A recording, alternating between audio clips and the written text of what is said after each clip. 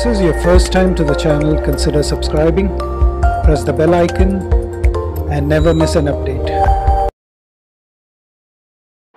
Hey guys, so after a very long time, I am working on an RD350 again. Actually, very long time is also is about one month.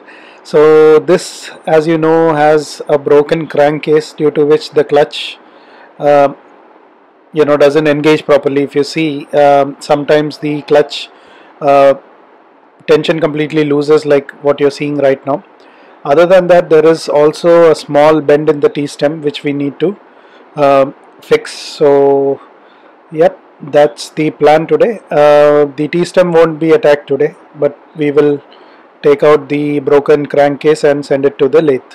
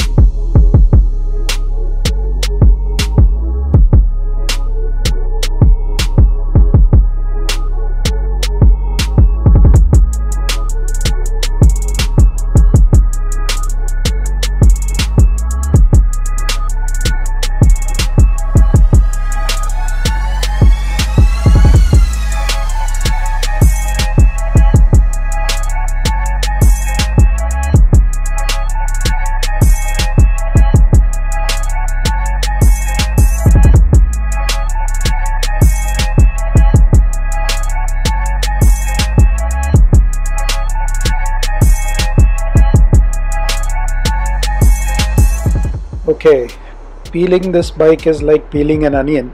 So every step is little you know problematic. So you can see the amount of play in the piston but when you check the crankcase is I mean the crank is rock solid. So what could have been the problem? You know the mystery thickens. So when you look here look at the amount of play in the you know top end bearing. And also you can see there is some material taken.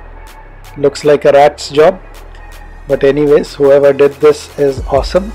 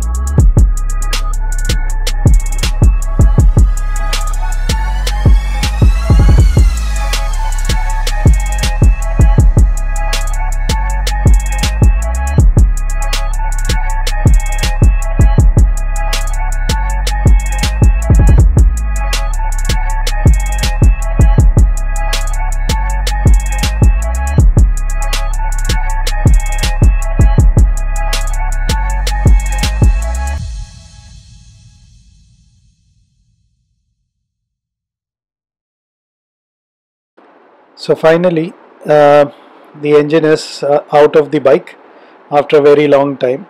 Uh, couple of things you know taking out the top end of the crankcase is not simple. So it is going to take at least two to three hours for me to you know take apart various components. But right now I remember most of these things like the back of my hand. So uh, it's actually pretty smooth sailing from here. So um, like I have already shown you this is the situation of the other cylinder as well. The piston is badly you know kind of ported.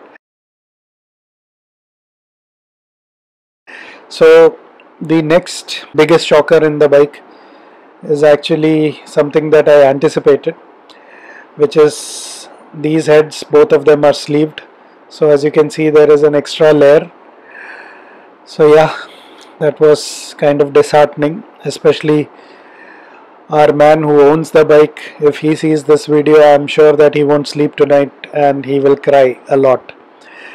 But then it's like a band-aid. It has to be ripped off. So that's what we did. We took it apart completely. So along with the broken crankcase issue we are also going to change all the oil seals luckily he has some very good oil seals right from Japan. So that is what we are going to use in this. Um, so yeah apart from the lathe work I don't see any other expenses coming here because we already have all the oil seals. We have most of the packing stuff. So this should be a smooth sailing. So I'll catch you after the engine is taken apart. So as you can see the engine is taken apart. And the top crank case is removed and it is kept in the car for me to drop it tomorrow morning. Uh, then the other thing is I will show you a closer pic and this is kind of not going out of my head you know how somebody could do this. And these are ART pistons you know so start crying even more. So that is the situation. Um, so yeah hopefully the top crankcase cover comes soon from the lathe so we can actually start working on that. Uh, the other bikes have been put to sleep now so yeah that's about the video. So I'll catch you guys in the next one. Good night